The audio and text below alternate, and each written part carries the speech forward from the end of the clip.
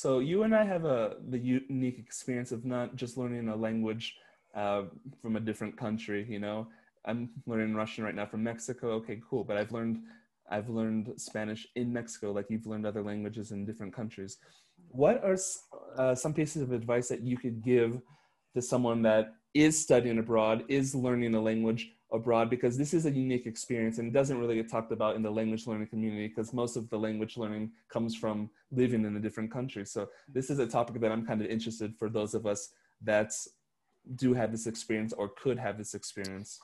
Okay, to be fair, I always had some kind of uh, head start when it comes to uh, studying a language before going to the country. So I always, if I go to China, of course, I knew like uh, before months ago, months before the, I go, that I will be in China using Chinese. So I try to study as much as I can.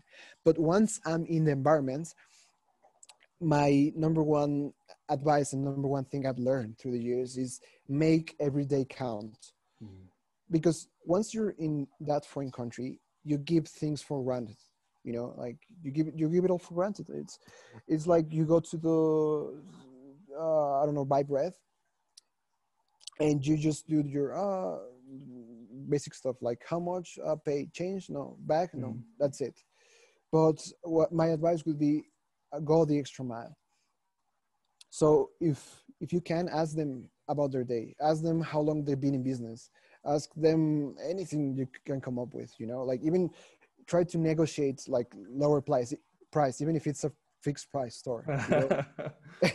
like it's just like bringing up conversation because mm. you, you get you get too comfortable at some point. You're like ah yeah i'm in japan. I'm learning by osmosis. Right. oh I'm, I'm in china. Yeah it's fine. Like i see kanjis everywhere so i'm gonna learn for sure. I would say make every day count get out of your comfort zone and for the love of everything that's good make mistakes. If you're not making mistakes you're not learning. You know i, I can really relate to what you're saying.